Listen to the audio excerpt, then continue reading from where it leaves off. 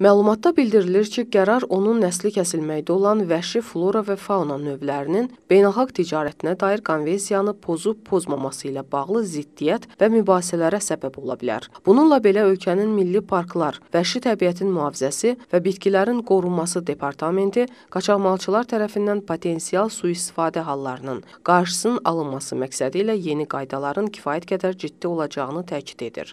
Departamentin məlumatına görə Taylandın 7 meşəsində ölkədə 4000-ə yaxın vəhşi fil, həmçinin əsasən turizm sənayesində istifadə olunan yüzlərlə ev fili var. Vəhşi fillərin sayı son zamanlar ildə 7% artır.